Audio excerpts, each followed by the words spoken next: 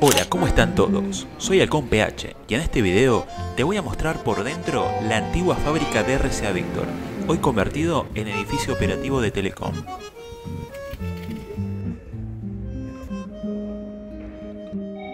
Ubicado en el barrio de Saavedra, a pasos del parque homónimo, se encuentra en la manzana delimitada por las calles Paruisian, Rómulo Naón, García del Río y Estomba.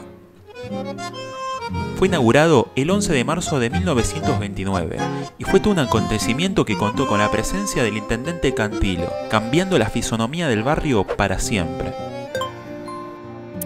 En la zona ya se divisaba un perfil de casas bajas, entremezclado con industrias de importancia, como Nestlé y entre otras.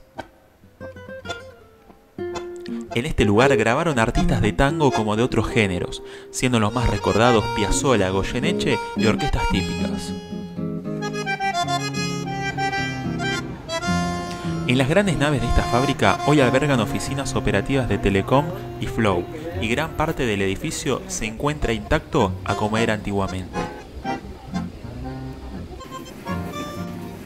Si te gustó este contenido, no olvides de suscribirte, comentar y activar la campanita. Nos vemos en la próxima. Chao.